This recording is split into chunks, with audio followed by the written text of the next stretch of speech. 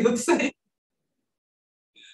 Right, good afternoon, everybody. On behalf of the Amsterdam Center for European Studies, I welcome you to this final concluding session of the lecture series, Common European Asylum System. Where are you headed for? Quo vadis.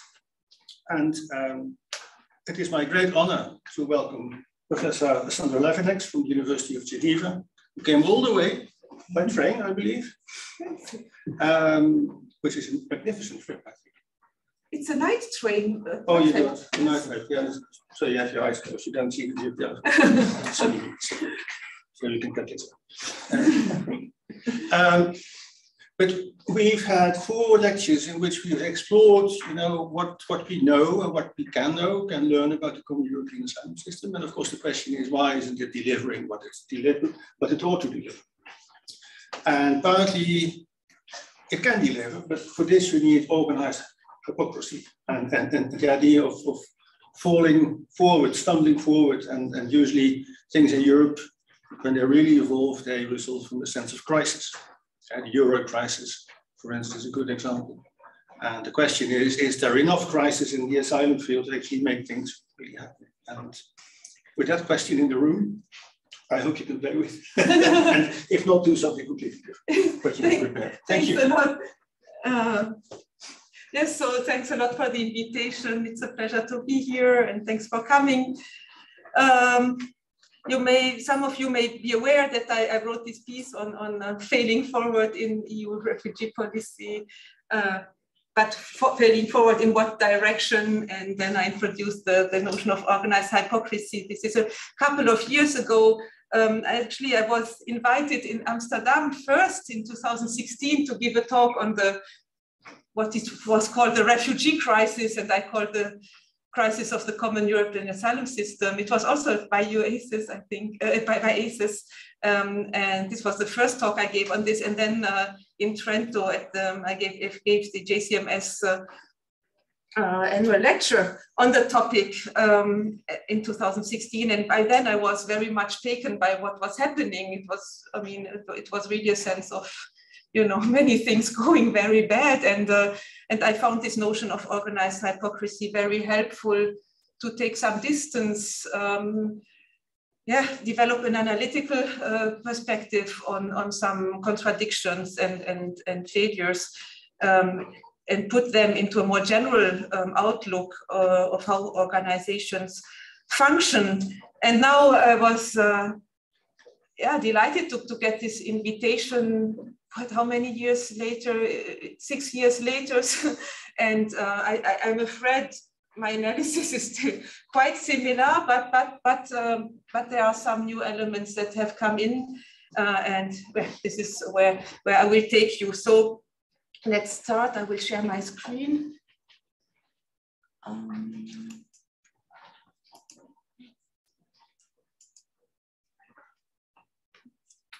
yes, so let's start with what you all know.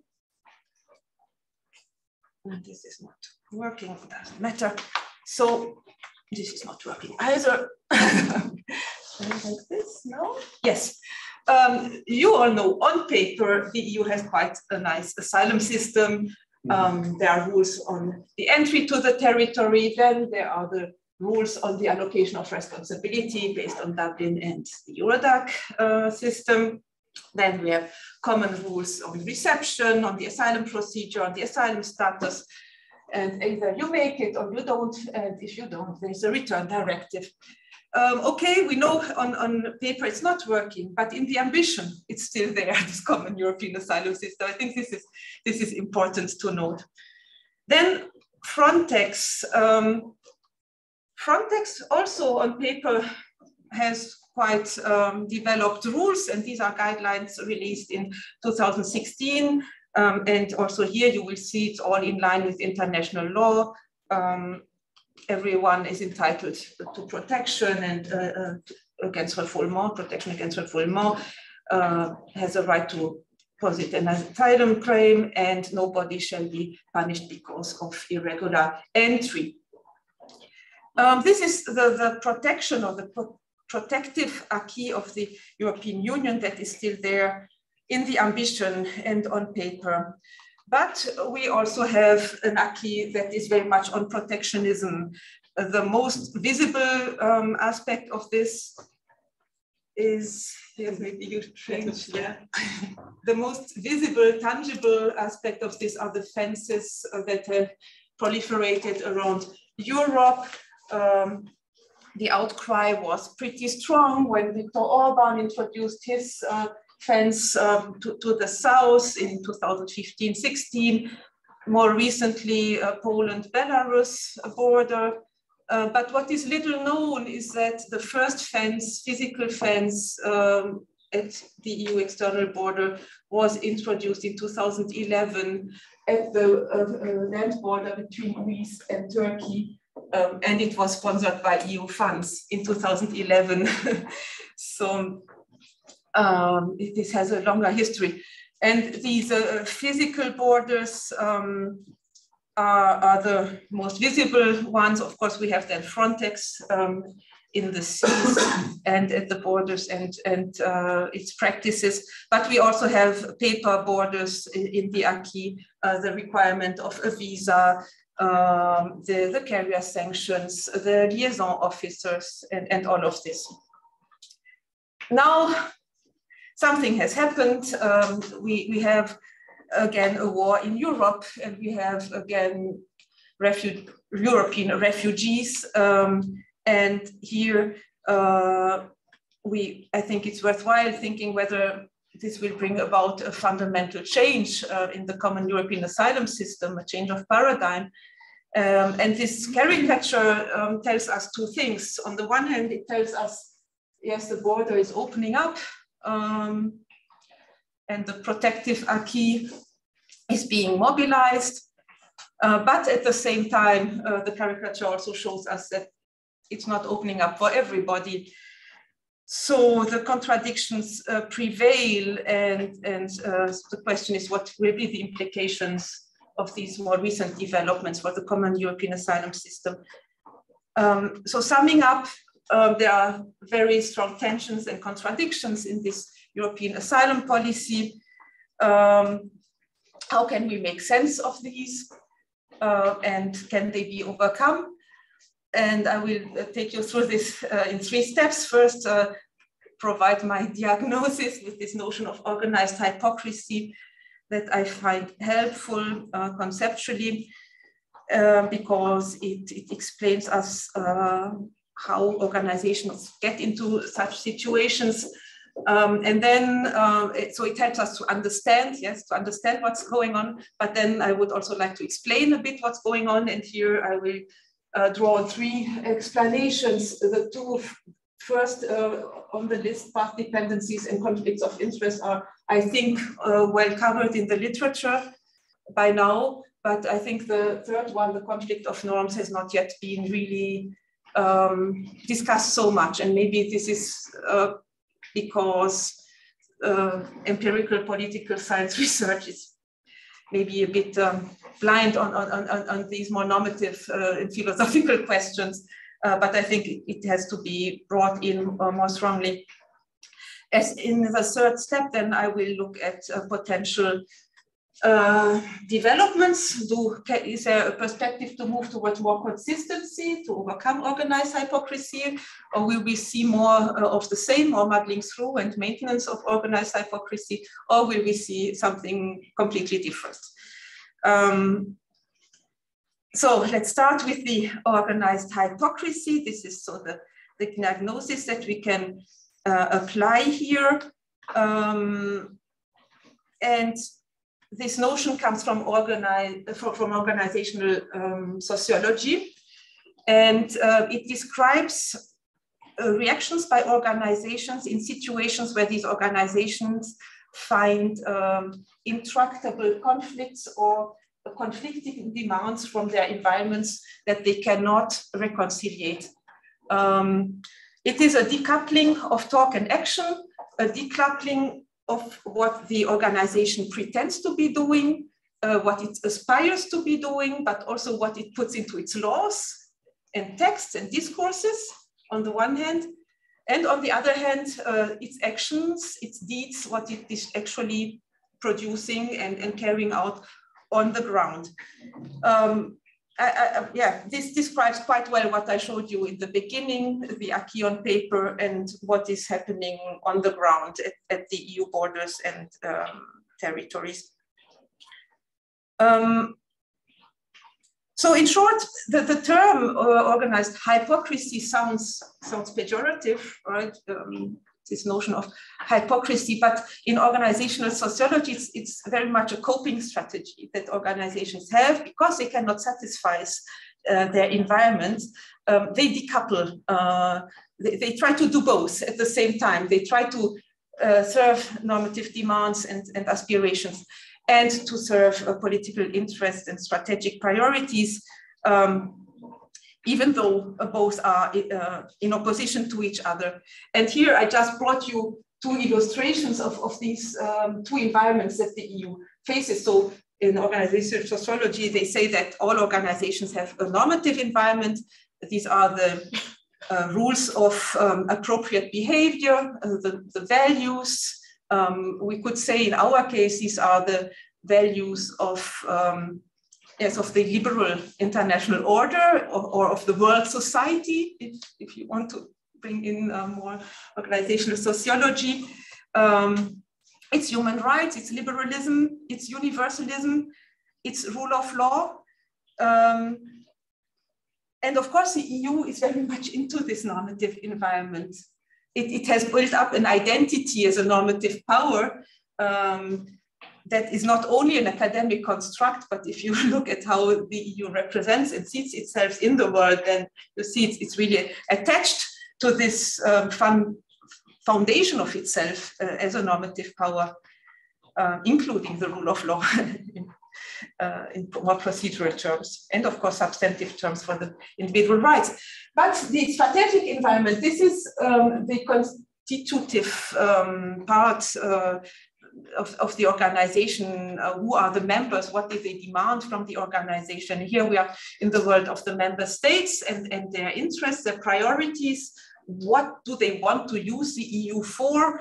Um, and and the, these are very different um, than uh, preferences. Um, I, I, have just taken a book on Euroscepticism that has been published recently to illustrate um, these counter movement uh, uh, in the strategic environment of the EU, which indeed demand uh, uh, very different answers from the normative environment. And uh, in, in this, this, sense, the organized hypocrisy is, is, a coping, it's a survival strategy to try to continue to live up to the normative ambition while at the same time maintaining the support from the constituency.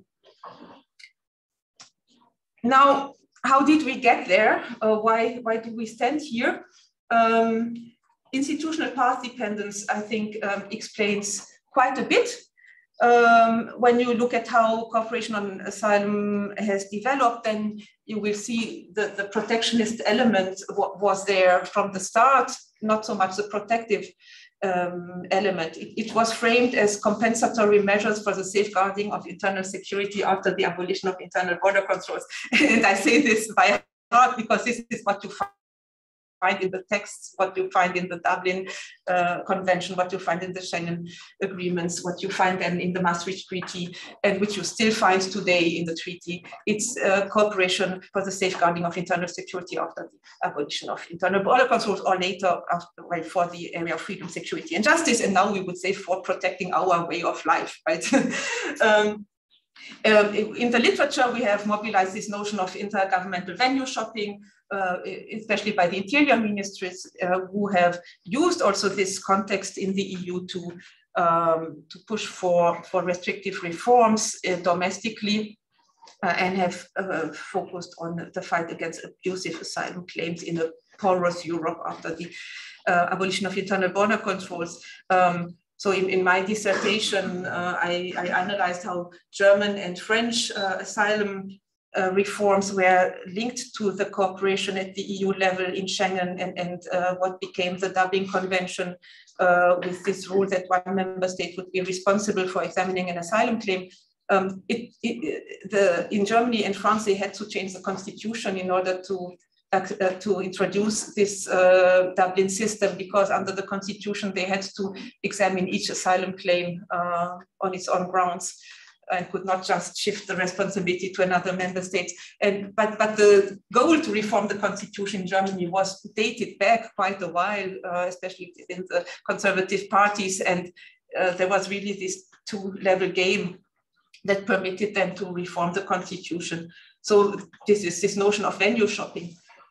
Uh, so, so this protectionist part of the acquis um, was there at the start. The protective acquis, uh, what uh, you know, the um, directives on asylum procedures, on status determination, on reception conditions. This came later, um, and it was promoted by the European Commission, um, especially then uh, after the Amsterdam Treaty.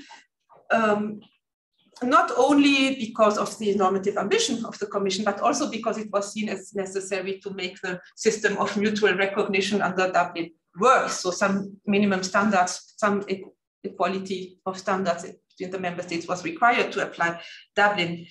Um, this is the start of this normative ambition. But the strategic environment was still very active and continued to pursue um, uh, the protectionist agenda. What we see in this period where um, no more normative element priorities come in the internal dimension of harmonization, we see a stronger uh, evolution of the external dimension uh, of EU asylum and migration policies.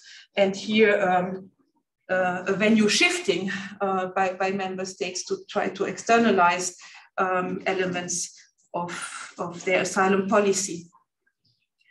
Um, the normative ambition is maintained uh, in, in, the third phase after the Lisbon Treaty. It is widened, it, is, it becomes more supranational from the procedures, but also from the uh, ambition. We have the charter, we have a recast uh, of, of the directives. Um, we have the ambition of a common procedure, a common status. We have the principle of solidarity, uh, and of course, a court which comes in. This is also an important element of stronger legalization of all of this and uh, yeah, potential pressure uh, for conformity on the member states. Um, the protectionist uh, priorities were still very active. The external dimension um, developed uh, dynamically, uh, readmission agreements in the competence of the EU, and, and all sorts of other uh, cooperation elements. So we have this parallelism. But I would say now we are in a fourth phase after the crisis, and uh, we are still there, where on the internal dimension, this, this, this protective internal acquis is in a stalemate. Um, we have a series of reform proposals. None of them has come uh, to, to bear since 2016.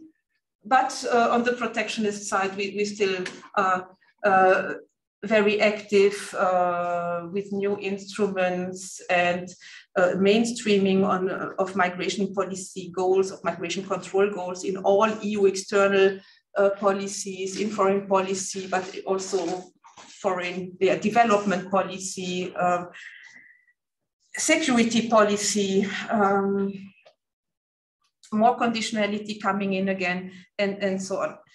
So, um,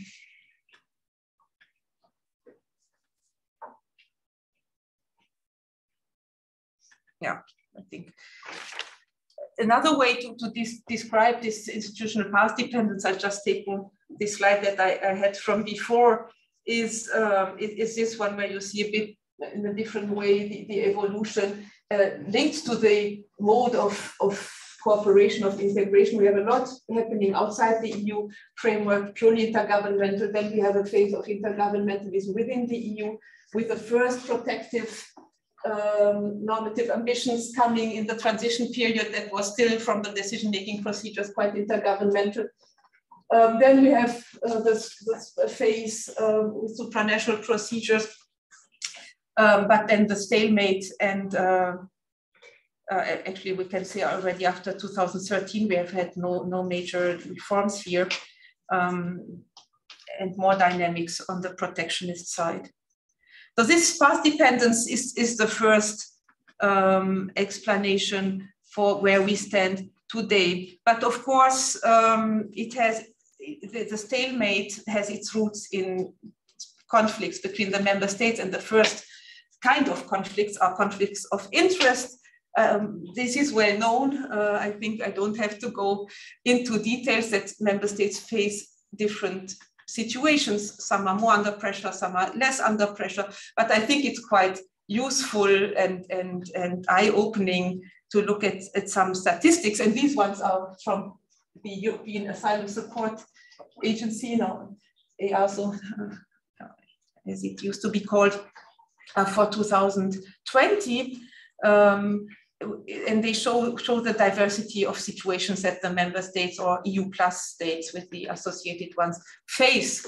Um, the first one here shows the asylum number, asylum seeker numbers in 2020 uh, in, in three metrics uh, by, um, measured by uh, GDP, um, by population size, so per capita, and uh, by country size, territory. Um, the, yeah, you see some metrics coming into which we will come later again. But um, if, if you apply these metrics, uh, you see that only three countries are actually above the EU baseline. So there is a notion of what the fair share would be, which is in white. Um, and everything that is above this fair share is red and what is below is blue. And basically three countries are above this uh, EU baseline. 14 countries are below and the rest is somewhat within that margin. So this tells us the status quo is not so bad. I mean, okay, this is 2020, it's, it's a snapshot, but broadly the picture is stable. Uh, and the other graph I took um, to show not only the diversity in terms of how countries are affected by the phenomenon, but also uh, with regard to domestic asylum systems, the diversity of domestic asylum systems. In theory, we should not have this variation here. It is about recognition rates uh, for uh, asylum seekers from um, the 10 nationalities from which, uh, which from which, which are most recognized as refugees. Um, and each dot uh, shows you um, the recognition rate by one member state, um, only uh, for uh, member states that have more than 300 first instance decisions in that year. Uh, the bigger the dot, the more um, decisions they have had.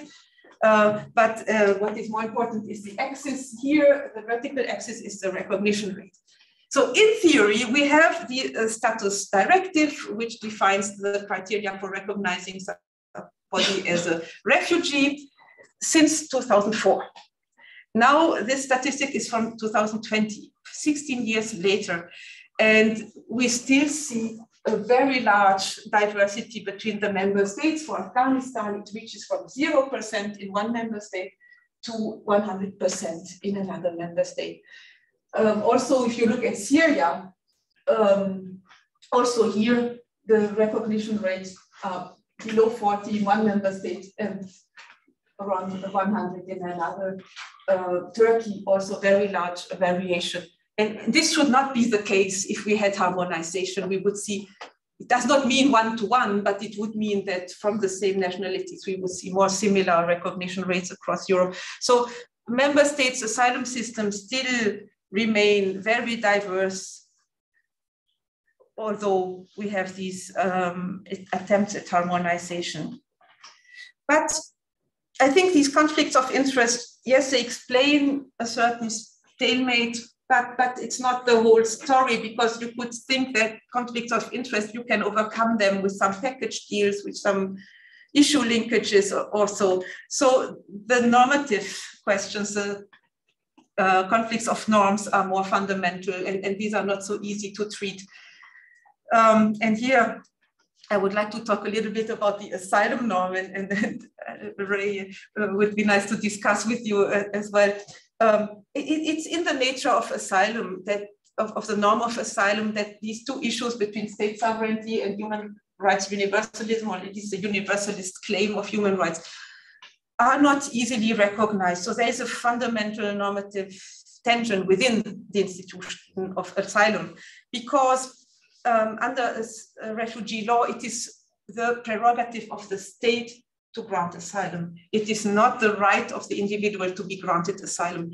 The Geneva Convention has consciously um, defined uh, the norm of asylum as a prerogative of the state to grant asylum and not as an entitlement of the individual to be granted asylum. This is different in the Universal Declaration of Human Rights of 1948, so three years before the Geneva Convention.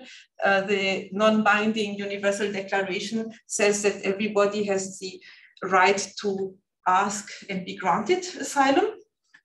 Uh, but in the Geneva Convention, they didn't go this road. It's, it's, it's more state-centric, more sovereignty-centric.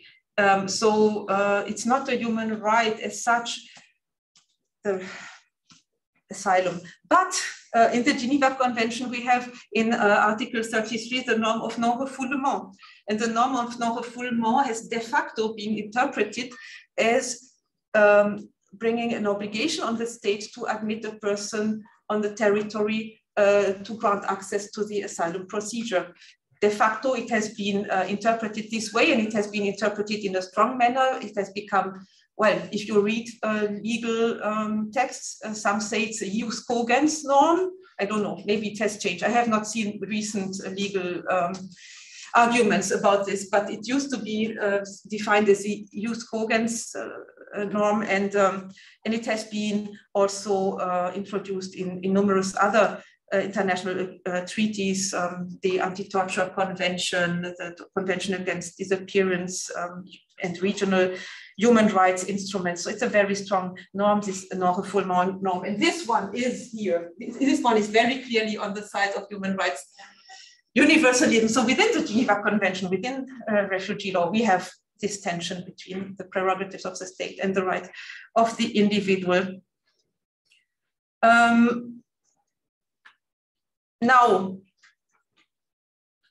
I, I, argue that in the European context, uh, so at the national level, states have to find out their own way between these two prerogatives. But within the context of European integration, the conflict of norms is exacerbated because we have a vertical pressure on state sovereignty that is added uh, by the idea of integration and of uh, EU competence that is being developed that of course demands concessions on the side of state sovereignty.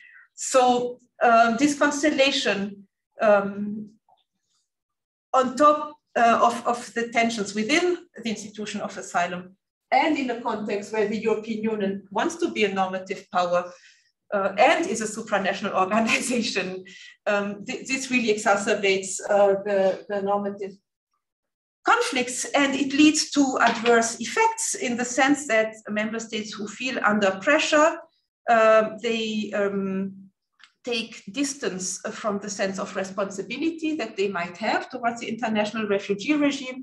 And it becomes also easy to blame the others, to blame the EU, to blame Frontex, or to blame other member states when something is, is not functioning well. Um, and, and this um, dilutes um, the uh, each state's yeah, uh, uh, commitment to the international refugee regime. Uh, and, and this, this normative constellation is not easy to, to solve. Yeah, it's not easy to solve. uh, and I would say this is the fundamental problem. So from here, I would uh, now uh, try to look ahead. Uh, can, can we overcome the organized hypocrisy? Uh, will we move towards, is it possible to move towards more consistency or rather muddling through maintenance of uh, the status quo of organized hypocrisy, or can we see maybe uh, some other kind of change coming up? Um, uh, the key challenges in this context are to reestablish state responsibility in the context of European solidarity and reconcile the protectionist and the protective agenda. So uh, Brunsson and, and, the notion of organized hypocrisy um, contains some suggestions how, how hypocrisy can be overcome. And, and basically, he says you need either a change on the side of the strategic environment of the organization that brings um, the priorities of the strategic environment closer to the ambition of the normative environment. So here we would see interests moving closer to the norms, or uh, we have a change in the normative environment.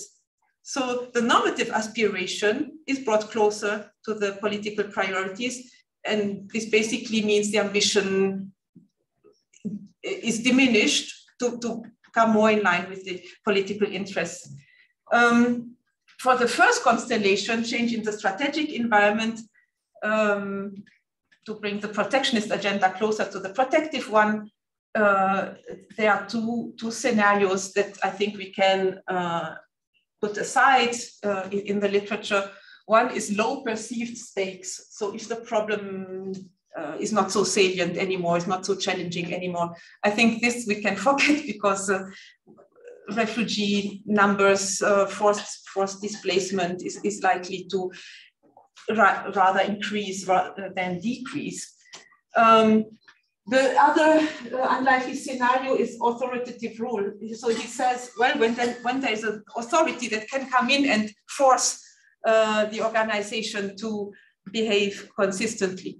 Um, I think this is an interesting notion. I mean, the EU is not supranational enough to force member states to do something. We have seen uh, Hungary has also decided not to follow the Court of Justice. It, it, it, it it's not strong enough.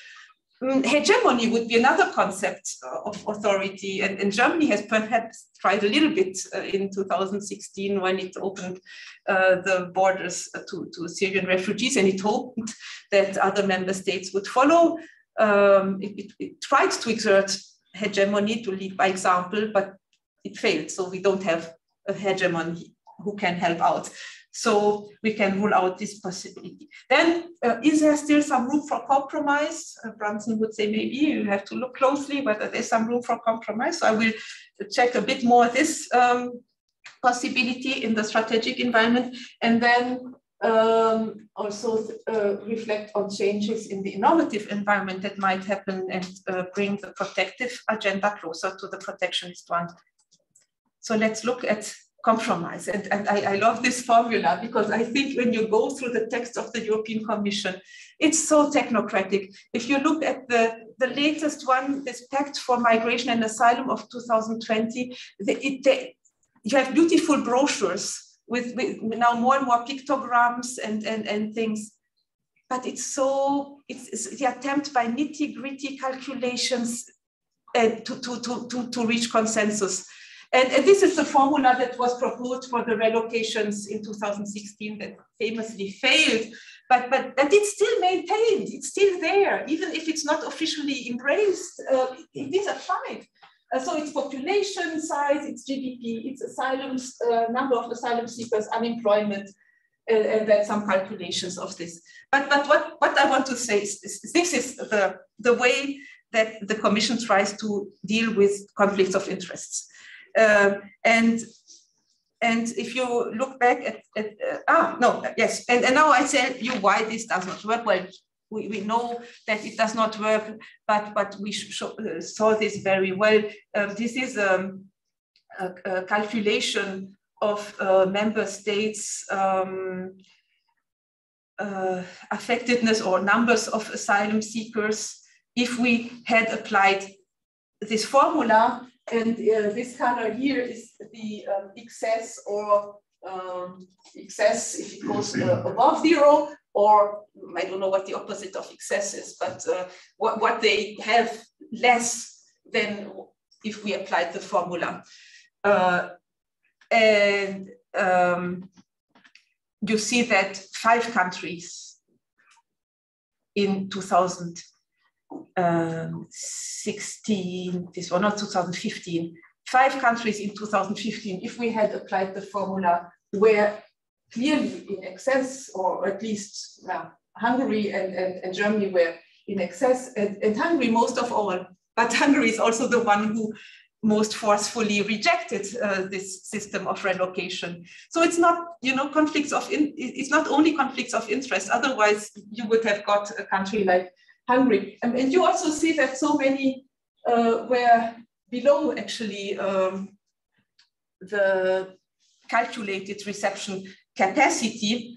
Um, so they benefit from the status quo again uh, we won't get there by, by, by these technocratic calculation. Yet the EU still applies them. And here I take again this, this slide that I showed before, because it's not usual that you know, you show asylum seeker statistics broken down by GDP per capita, by population size, or by country size. It, it's not the way normally we just had the, the numbers and perhaps per capita, yeah, we had the distinction absolute numbers versus per capita, but the EU continues to show by GDP, um, by, by, territory, uh, and perhaps, you know, in another graph, we will see also by unemployment rate, also some of the other elements we had in the formula.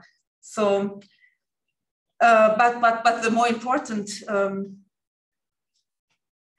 suggestion that I want to make is that this does not do the trick. We don't get at the consensus uh, by, by these reforms, yet they make, uh, they are the, the biggest part of the proposals by the Commission. The biggest part of the proposals of the Commission are of this kind, nitty gritty calculations uh, for, for um, how to come to solidarity.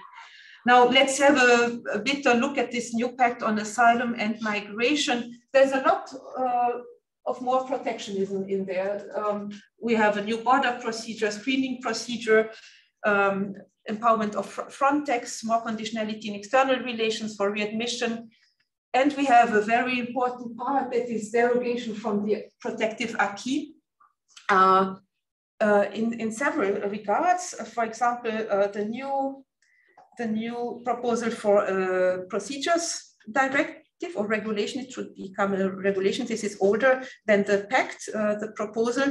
Um, waters down the criteria for recognizing a country as safe third country. So we have a derogation of former EU standards.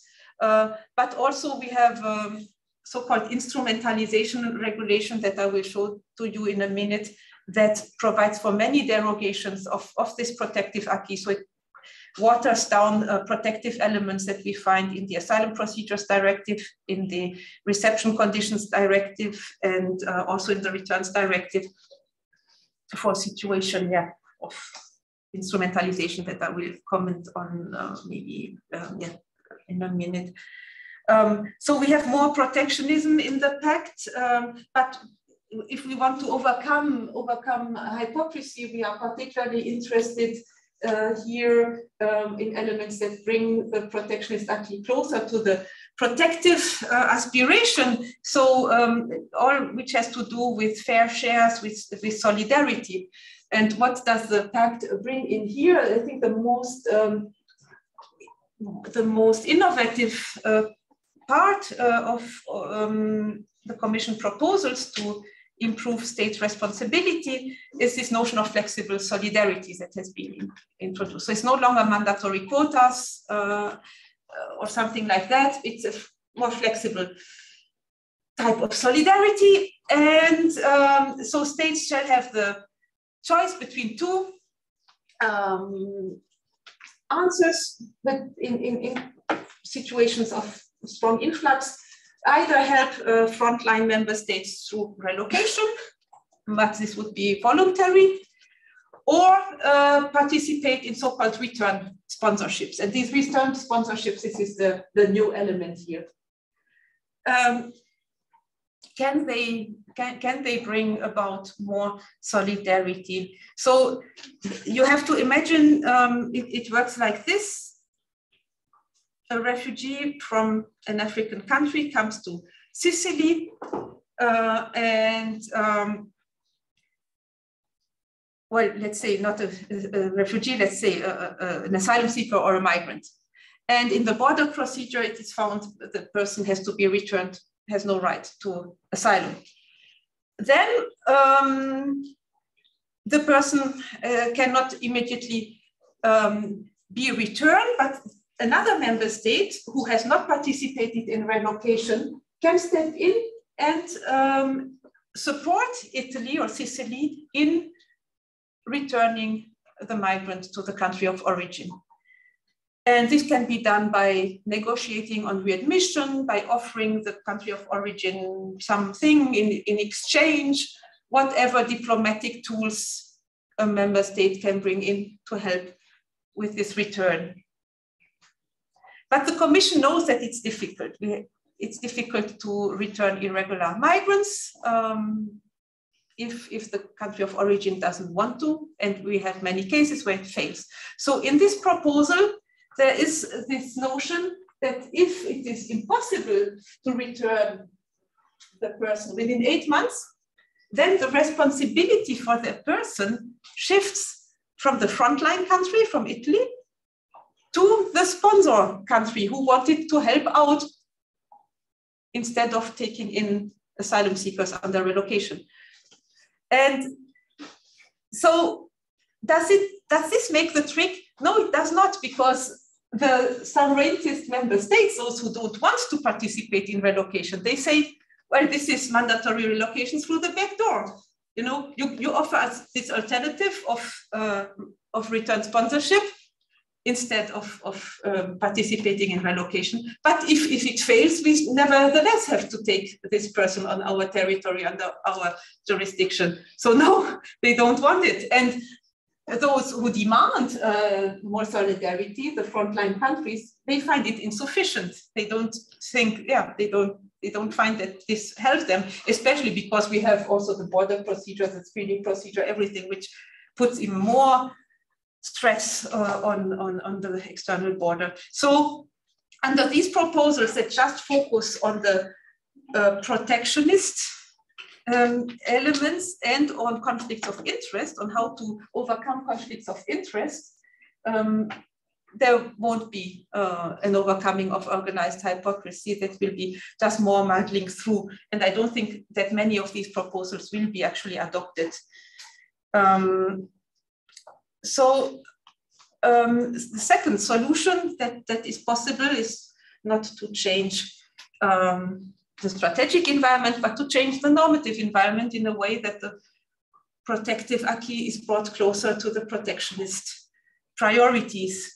And I think there are some observations that go into this direction that our idea of how an asylum policy should be, of, of what the refugee regime would be, are changing in Europe. Um, so we see in the acquis an increasing tendency towards informality, flexibility, and voluntarism. Um, yes, this is, this is a tendency that we find across uh, several parts of the acquis and also in the pact. And we also have a tendency to legalize breaches of international and European law, and in particular um, of, of the non-refoulement norm, but also um, of um, established standards of, to, for example, what constitutes a safe third country under the Asylum Procedures Directive, and um, yes, and other standards that are being watered down slowly. So when I say we have a tendency to, yeah, to, to to legalize breaches. So the Council of Europe has um, made several judgments in which it says that the hotspots uh, and the camps that have been established are against uh, fundamental human rights. Oh, I think I just. Um, it has also issued um, resolutions according to which Turkey is not a safe third country and that the Turkey deal would not be in line with human rights. The EU court has not, you know, has not uh, has said it has no jurisprudence on the Turkey deal because it's apparently not an EU deal; it's an intergovernmental feature.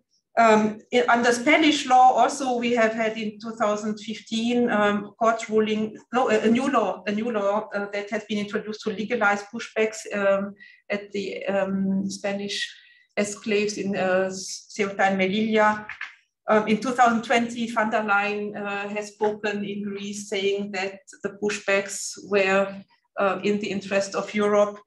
Um, Yes, and then we have also uh, a new a proposal for a regulation, this instrumentalization directive that foresees derogations from the standards that we have under the asylum procedures directive, the um, receptions conditions directive and, and uh, also the returns directive um, in cases where a third country instrumentalizes refugees to or migrants to destabilize a member state. Um, so we have different um, uh, elements of this tendency to, to legalize uh, a downscaling of legal standards. Um, we also have the phenomenon of externalization that I find fascinating uh, and the new primacy of geopolitics that's changed the balance between norms and um, political interests. And for the externalization, I'm afraid I'm talking maybe already a bit long. I don't have a clock here. fine, fine. Yeah, but ah, yeah. Now here I see the time. Yes. So very quickly, and I can talk more about it. But externalization means um, a, a- weakening of a state's commitment towards refugees, both in terms of the exercise of sovereignty uh, of the state and um, its commitment to human rights and the level of human rights uh, accorded to uh, the person. So it, it- externalization offers quite an attractive way out uh, of uh, the normative tensions because, uh, well, it, it started with the unilateral policies of non-admission, visa, safe third country, world borders control. Um, then we went over to cooperative non-arrival policies where EU member states uh, and then also the EU as such entering in as an actor cooperating with third countries on readmission, in posting liaison officers, in um, imposing uh, carrier sanctions. Then uh, we have a shift even further into the territory of the third country and away from uh, the individuals' access to the asylum system by delegated non-arrival policies. Here, the um, the authority over the person is no longer exercised by an EU member state, but by a third country. Uh, so it comes to the sovereignty of the third country um, and the support for that third country is through training, through financing, through, you know, um, financing the boats in the Mediterranean and the Libyan forces who will then deter uh, the migrants. Um, and then we have uh, an even stronger form of externalization, which uh, we could call outsourced non-departure. And these are policies that really try to prevent uh, the person to leave in the first place. And um, this is this um, approach to counter the root causes, which, which is well, well meant.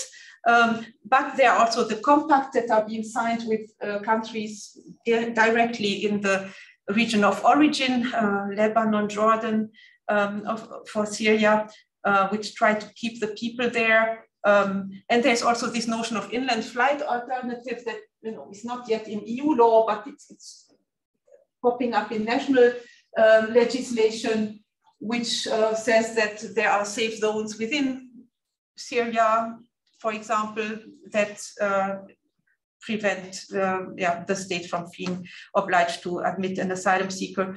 And as there's also this notion of self, refugee self-reliance. And each of these steps is accompanied, ah, no, and the last one, of course, in here is this um, extraterritorial processing that has been introduced in England and um, Denmark is trying to.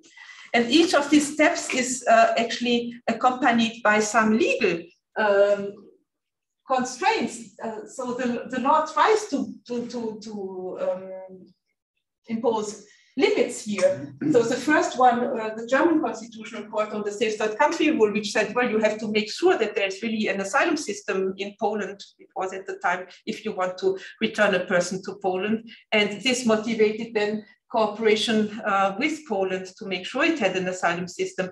Then um, the Hirsi judgment by the Court of uh, the European Court of Justice uh, was also a reaction to um, pushbacks in the Mediterranean, so that then uh, the legal link was broken between Italy and Libya if we just delegate these policies and not um, carry out by EU uh, officials, and the European Court of Justice has, of course, no jurisprudence on Libya then anymore. And, and then when we are there, the EU European legal system is, is blocked, cannot do anything to, to, to, to uh, reestablish accountability.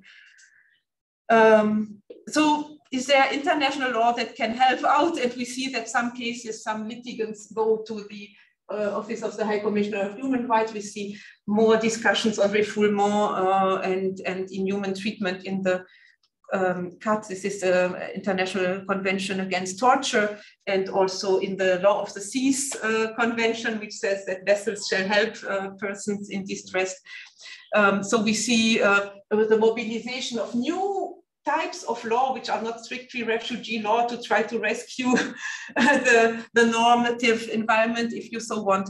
Uh, but, but it's basically being hollowed out by these practices. And, um, and now Ukraine, does it, that, can it be a game changer? Um, so on, on, the face of it, um, Europe's response is, is very generous with this temporary protection directive, which gives immediate rights to resident, uh, information, housing, welfare, medical care, family reunification, right to, to work immediately. Also, um, the freedom of movement was granted immediately.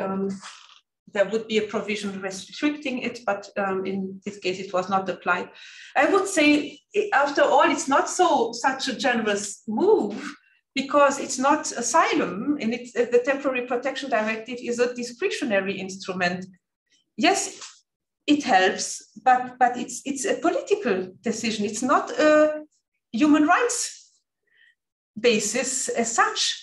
It has to be activated by a political decision, which is uh, by, it has to be initiated by the member states. They have to make the request to apply the temporary protection directive. Then the commission has to agree. And then in the third step, there is a council vote by qualified majority on activating this directive. And in this vote, the content, the exact content uh, and the temporal scope um, is, is defined. So for now, it's for 12 months. Uh, and it's for persons who have left Ukraine after 24th of February only for the time being.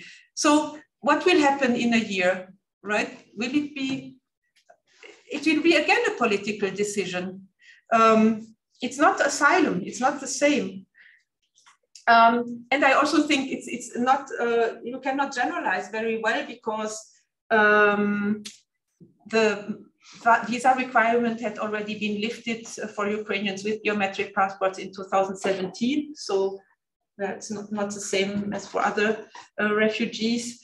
And it has also been the most um, numerous immigrant group in the EU in recent years. You see here um, in, in this graph. So um, it, it's a special case.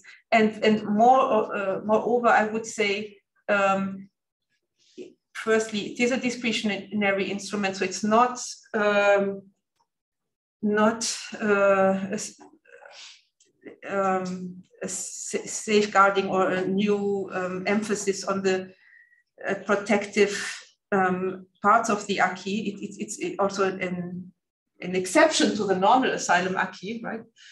Um, and, uh, and secondly, the motives are humanitarian, yes, but also geopolitical. It's part of the West's response to the war, and it, it's it's an instrument yeah, in, in the war.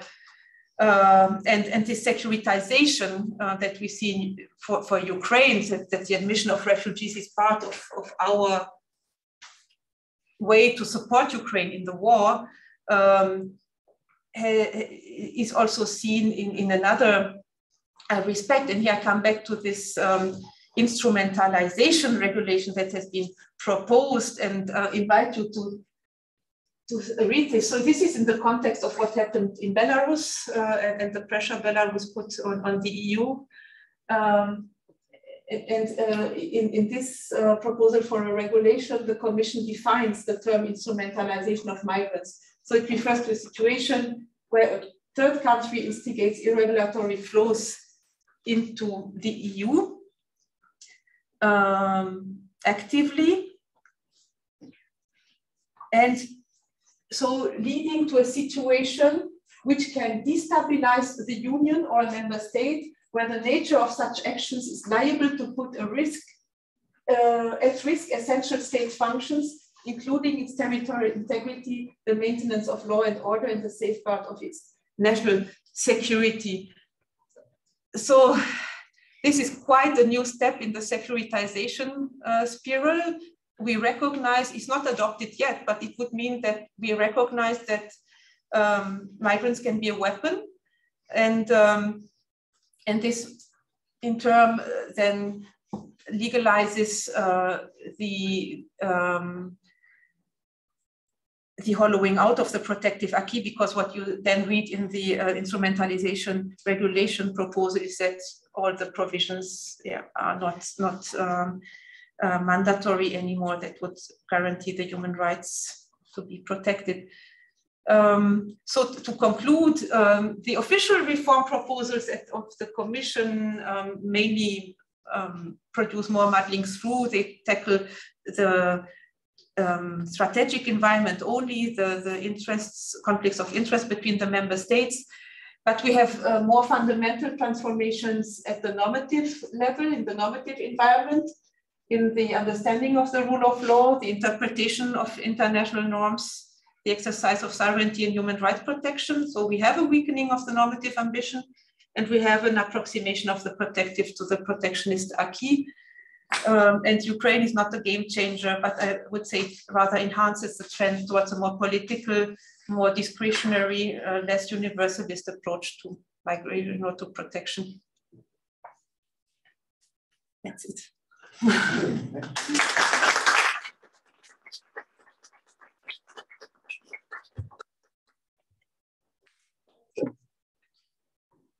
what I was, was what I was hoping for. Are there any questions? Observations? Students who are working on projects, related projects. In that case, I gave the students the choice. Yes.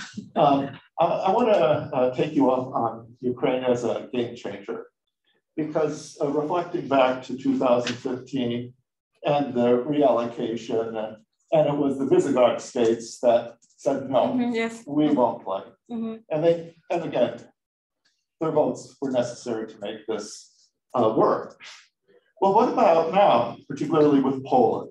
Mm -hmm. uh, and you mentioned uh, Hungary was perhaps the most effective, but on the other hand, as long as as the Hungarians put it, Germany was violating the Dublin Convention. They were violating the norms, EU norms. Mm-hmm. Um, it didn't matter because it was a matter of pass through, right? So practically, they were not uh, having large numbers stay there. Yeah. It's a different situation in Poland, right? Mm-hmm. And like you said, what happens in a year from now? Mm-hmm. I mean, there's there's a, there's optimism that the war or much of this is designed with this responsive design with the notion that this will not last that long. But that's optimistic. Hmm. Yes, I, I, so what happens in a year from now? Is Ukraine still not yeah, yeah. a game changer? Yeah, the, the question could be, uh, do, do these um, countries uh, develop an interest in, in relocation yeah. and, and then accept a, a binding relocation scheme? uh, I, think if if if it happens, it can happen, but it will remain exceptional for the Ukrainians. And I cannot imagine um, a general relocation scheme to be accepted uh, by, by, by these countries. Um, so I, I, yeah. So it would be Ukrainians only. Yeah, this is my my, my hypothesis, but of course it's it's just a, a guess, right? Yeah. yeah. I think they, the, the EU has really moved away from this idea of mandatory relocations because there was too much of uh, contestation. And, and yeah, many questions arising about the possibility for the person to choose as also. But, but, but if Poland becomes Greece, mm. essentially, as a frontline state? Mm. Don't interests more align more?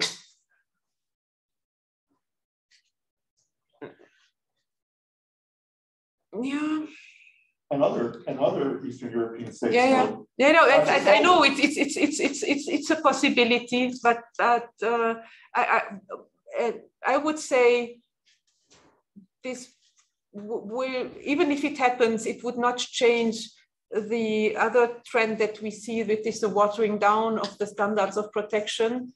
Um, I would say also the temporary directive, uh, protection directive is, is, is somewhat uh, watering down because it does not give as, as good uh, stable prospects uh, and, and uh, protection that the asylum status. So even if, if there is a relocation solution adopted for Ukrainians, I would say it will not be generalized to, to, to refugees generally, and uh, it will not stop uh, the trend towards uh, yeah, less ambitious asylum system.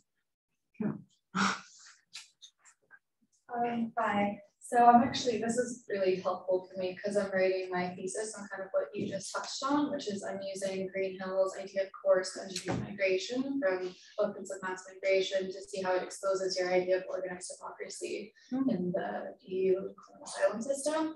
So one of my kind of policy proposals at the end of Professor Dumanek is my advisor as well, but um, it's I was the idea of making uh, like the weaponization of migrants legal under international law, and I didn't realize that there already was an instrumentalism law in place. Could you? it's not in place. It's a proposal. Oh, it's a yeah, proposal. from December 2021.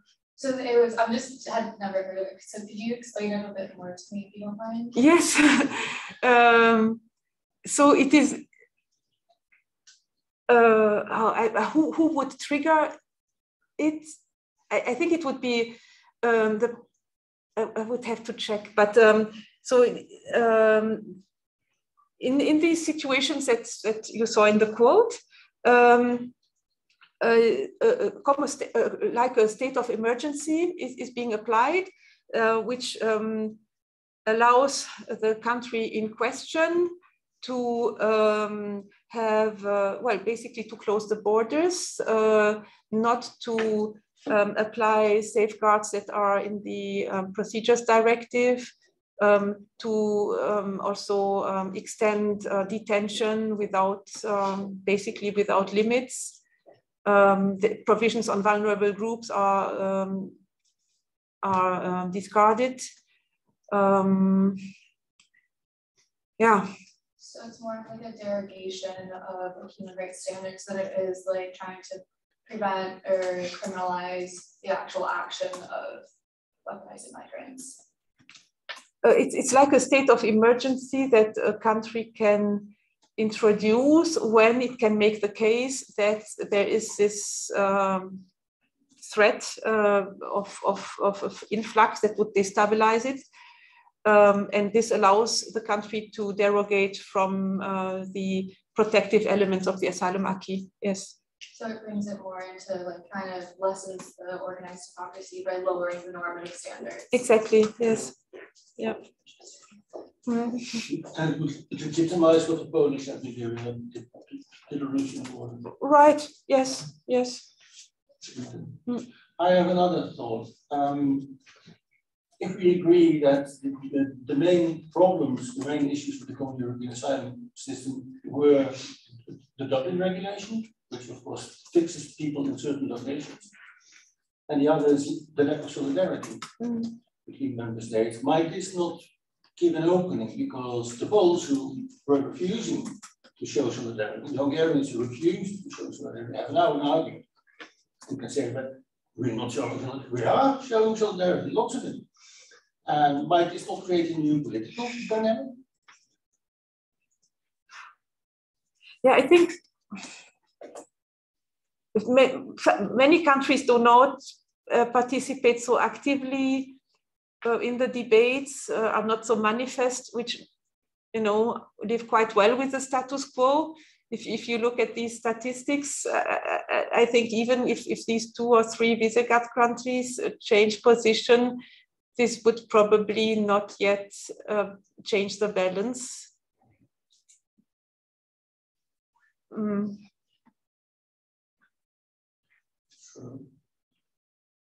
Then another idea. to, to, to, if, because what happens now with the temporary protection directive is these Ukrainians are free to move. They can go anywhere they want within the union yeah, and, yeah. and, find, find a job and send the kids to school and whatnot.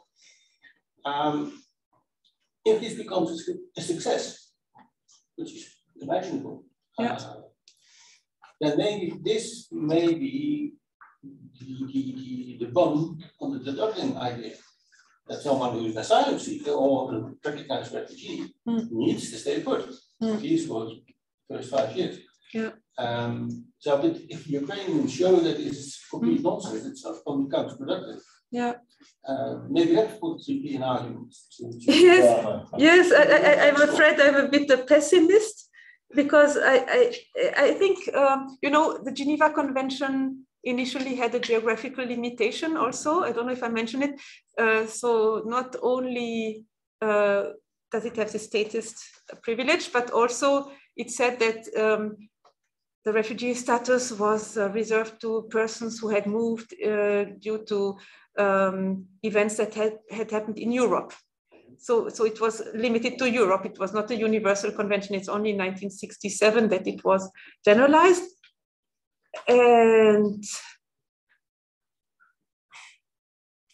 I think what, what is happening with, with Ukraine is, is a European privilege. And it, it, I don't think it will be generalized again.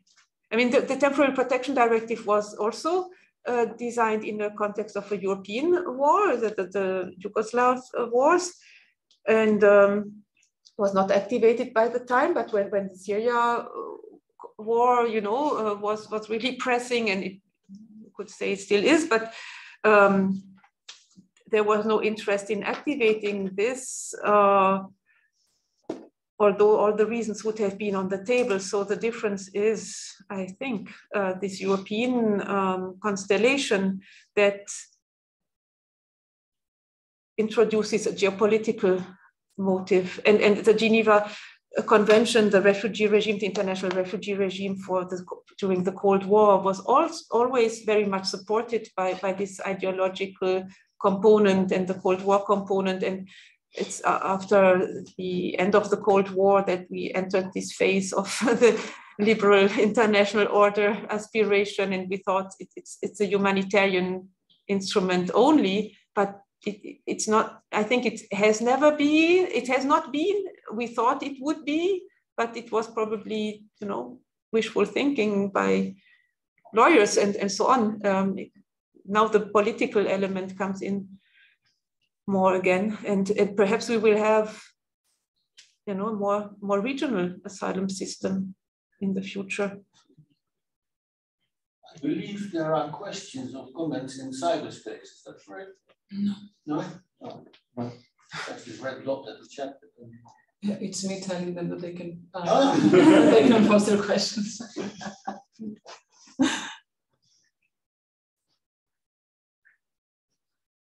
I have a question. Um, you mentioned earlier that um, asylum and migration is very much fixated on, uh, on politics now, that this is basically one thing that should be detached from each other because it's a little bit different. But then again, in the Geneva Convention, it's more or less state-centered, so there's quite a political component to it.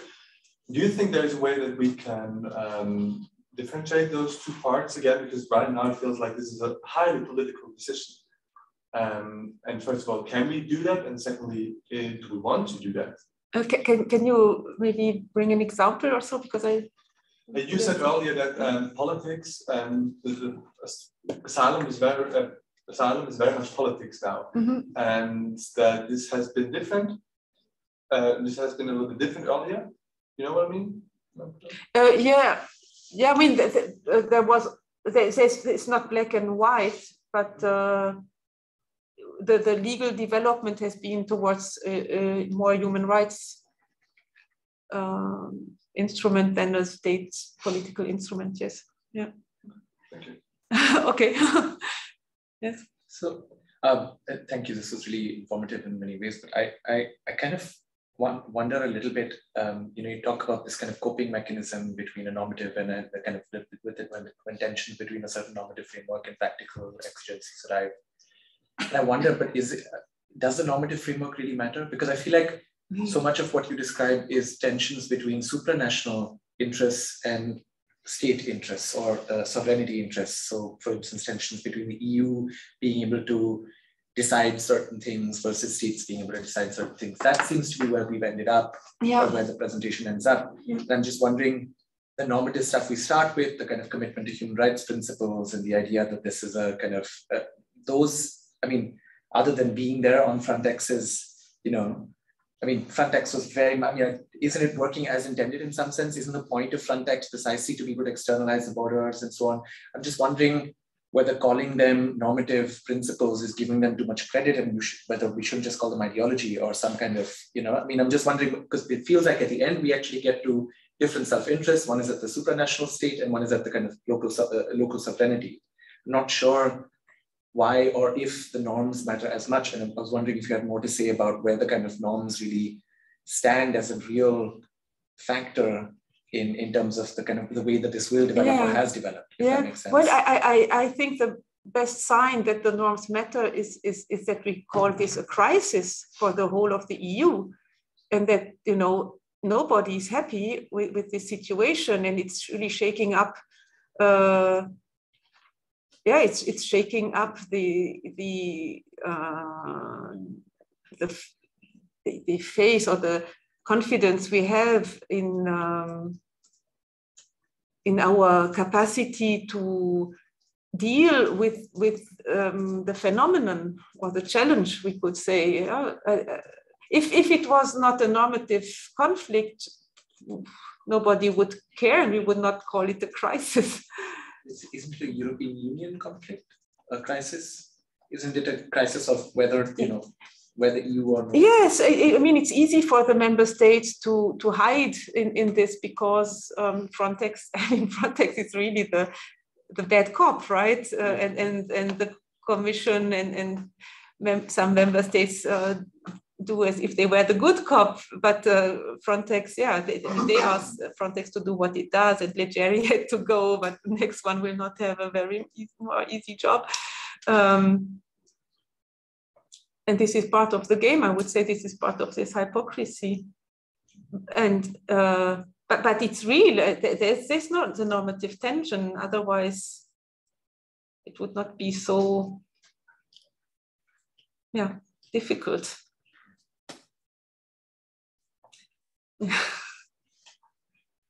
and maybe the EU is changing as well in, in the context of this um, geopoliticization. Maybe the EU is becoming more security actor and less of a normative actor. Is also a way to, to reduce the hypocrisy. Then we enter your perspective, yes. I just wanted to kind of continue where Dr. Blumenweg left off a little bit this kind of pragmatism maybe that there is with Ukraine that okay, it, it actually is more pragmatic to be able to move of recognizing mobility a little bit albeit we see very much in this kind of Europeans in different contexts and just is this seems at least to me extremely depressing kind of hearing this very kind of downward trend of protection and it's just getting worse. So I'm just curious, do you see any uh, is there at all any signs of within the EU that you can see of this kind of accepting any kind of pragmatic notions of vulnerability as like an existing reality that like the EU is kind of fighting to stop, but that it cannot effectively contain in the way that it's trying to. I'm just curious because that's kind of mm. what, what one would logically think given when when you look at the situation, but somehow it just doesn't seem to make it itself its way through uh, into the policy because it is so much about this kind of mm. sovereignty and yeah. securitization, etc. Yeah, I think it's good that you bring this up because um, there's a lot going on at the same time. Um, so uh, I, I, think what we are observing is, is more migration policies becoming more selective and um, you know, states keep opening up borders uh, for wanted migrants, for highly skilled, for you know people um, in, in trade in services. This is something I'm working on. You have mobility clauses in trade agreements that, that have proliferated.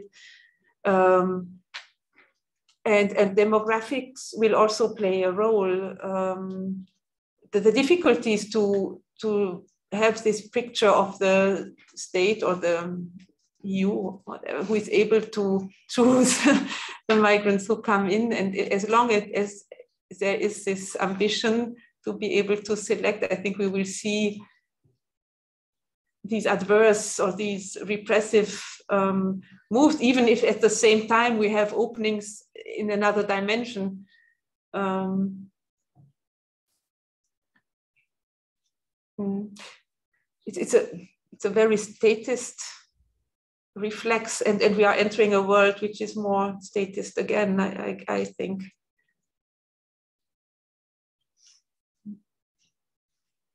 Um, we were in a project funded by Horizon 2020 a couple of years ago where we looked at the failings of the common European system. Ever since this has been my thing.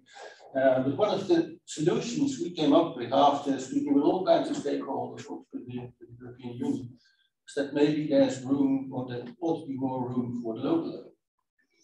Uh, yes. There are many cities, mm -hmm. uh, for instance, in Eurocities, mm -hmm. who say we want to mm -hmm. give us money and we take a bigger role. Mm. Um, and that would then bypass more or less the, the, the national level where populists are bringing. Um, what, do you think any any? Um, uh, this is fascinating, and I uh, I always thought this is something I would like to look at. Uh, I, I, think it's fascinating this um, emergence of a different level of governance um, at the local level, but also with the civil society implications and, and the global compacts, you know, they, they want to mobilize these uh, other levels to to a bit circumvent uh, also or to to add to to the to, to the uh, rather um, status quo oriented uh, st state nation state level um, yes definitely it, this is also happening this is what i'm telling my students when i teach a, a bachelor class on international cooperation and uh, and, and, and I say, yes, if, if, if you look at the states, you, you have the impression we go back to realism or neo-realism. But if, if you look, we have had another transformation. We have transnational uh, ties, we have uh, social society actors, we have um, yeah, cities, um, also in networks, and, and we have new communication means. Um, and this is, I think, um, a reality that has to be brought in. I think my story is more about the state perspective. Mm, yes. You know, just thinking about that, uh, uh, a lot of the cities to play a bigger role. This could be paired with a greater use of temporary protection as a modality, right? So allow people to move where there's demand for their labor. And in fact, that's also part of the thinking of the Nansen Initiative, right? So to allow greater mobility, to allow uh, asylum seekers and refugees to work where they're wanted in a way. Hmm. Um, but isn't there also a problem with that coming, I mean, from uh, the refugee rights activist community and UNHCR because they're really afraid of opening up. Mm -hmm. and, and there's a fear of temporary protection status in this way of becoming a, a, a substitute mm-hmm. for asylum. Mm-hmm. Is that is that another tension? It's not just the yeah, I think so. tension. Yes, it's I, also yes. that there's a, a community of refugee activists that are also concerned about temporary protection. Yes. Yes, and this speaks a bit to, to uh, another tension that I have come across when working on these things is that more legalization does not necessarily mean more protection uh, by, by legalizing something, by, by, by you know having precise norms uh, and, and enforcement mechanisms and all of this. you, you also exclude many aspects that are not covered. So typically with, with the refugee definition, you, you impose borders on who deserves and who does not deserve protection that are very problematic. Whereas when you have a more flexible, uh, more pragmatic, as you said, approach, um, you can trust that if you have a good uh, opinion about humankind, that, that it, it, it can work well, right?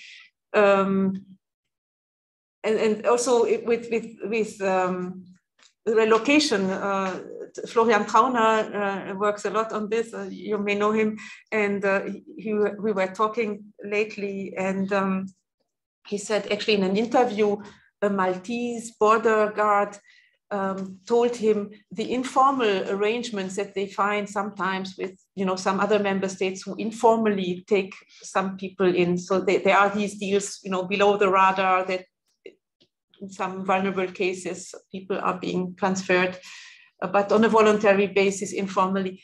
That, that, that the, he, this border guard from Malta thought it was quite helpful, this level of you know practical, pragmatic cooperation and that he was very skeptical about the commission proposals that would bring in such a level of complexity and, and regulation that has more adverse effects. So, and, and also when you look at other world regions that don't have so elaborated uh, legal systems, sometimes, you know, people live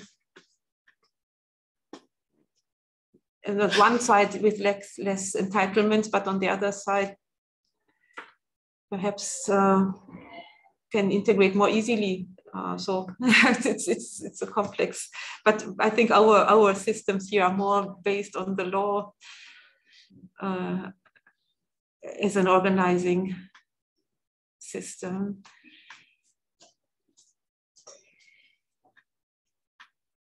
Anyone else? Yeah, um, so a lot of it sounded very pessimistic and I want to add some more pessimism.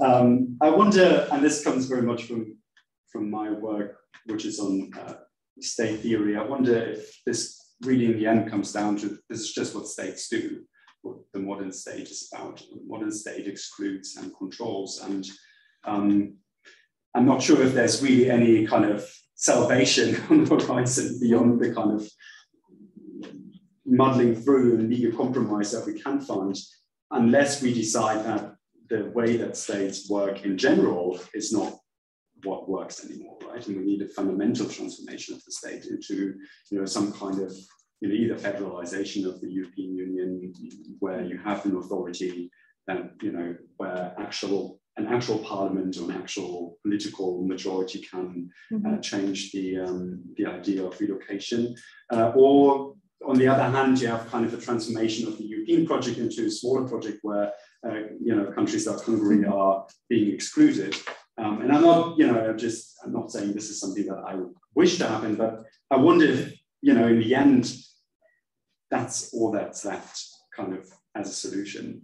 Um, it, it, doesn't seem to me that even if you know the hearts and minds of uh, you know 60% of uh, voters that participate in the European elections is changed to uh, vote for parties that advocate for um, a very generous uh, asylum system that, that, that really matters in the mm. situation that we have, in the structure that we have mm. in the European Union. Mm. Yeah, well, I think that muddling through is maybe, you know, not, not so bad after all, because you still have both sides and, and this is as much as we can get. Uh, and and there's a bit on the margins, you know, things that can be improved, but but the real solution, at least the one that that I I, I see some indication for that that the protectionist uh, uh, approach is, is is is taking you know more more emphasis over the protective one. Uh, this is not not what many of us would like to. So um, probably we, we, we, have to accept that uh, to, to, to live in this constellation and uh, and try to do little things that, that help and yeah, find you know informal ways to uh, to help. And, and, and I think this has always happened. I, I, I, think it has never been, and also at the national level, uh, asylum policy has always been hypocritical in this sense. But what, what I, I think in the EU is, is it is exacerbated because of this supranational pressure on the state. And uh, or I mean, pressure. Uh, the states on the one hand want to have a, a larger unit, but uh, but when it comes to these uh, core state powers, it, it, it, really reaches its limits. So I, I, I, am I'm more skeptical about the EU developing uh, this ambition. I think maybe if, if we had a pure state system, some, some of these very adverse effects and some of this power that comes in because of the larger unit would not be there. Yeah. And, and, and maybe it's the, uh, the European Union that constrains certain state actions. And I'm thinking about the United Kingdom here. Oh, absolutely. Right? So, uh, and you know, historically had a very restrictionist policy, et cetera, but now let loose. Uh, you know, plane rides to Rwanda. I mean, what next for other ah. EU member states if they were to let free, you know, deportation to Madagascar? Ah, so you mean the EU context puts puts limits on what states would do? some of the worst mm, impulses also, of certain yeah. states. But then, like, is Rwanda really such a break from what we've seen with the externalization? Like, I don't know. I, it just to me seems like it's kind of maybe a bigger step ahead, but it's kind of still in the same yeah trajectory. So I don't know. I think it's kind of part of the old game, just maybe be more spectacle. I don't know. I'm not an expert at this. It doesn't seem like it was great to the UK policy. So. Yeah, well, yeah, yeah. But I think maybe we will have more differentiated cooperation uh, in these fields. So more differentiated integration. You know, some states doing some programs together and others not. But I think this is also an interesting point when we look at kind of back to the Ukraine game changer question, right? The UK is not part of this game, not really game changer, but it's not part of this change at all, right? Yep. So they're also, one could argue that at least there is this kind of uh, tentative protection that just doesn't exist in the UK, right? The UK doesn't even uh, have the, you know, didn't even drop the visa requirements for, for Ukrainian uh, refugees and yeah, so so also there, I wonder whether that's. And as I understand it, if Ukrainians cross the channel on a boat, they're also subject to, mm -hmm. yeah, to being shipped to Rwanda. Well, on that note, yeah. I was just going to say, on that note, yes. On that note, I think we can finish uh, and, and, and join in thinking Sandra once more what is very illuminating.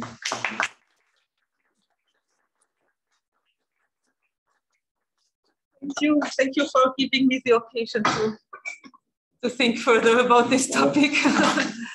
yeah. Would happy to have better news.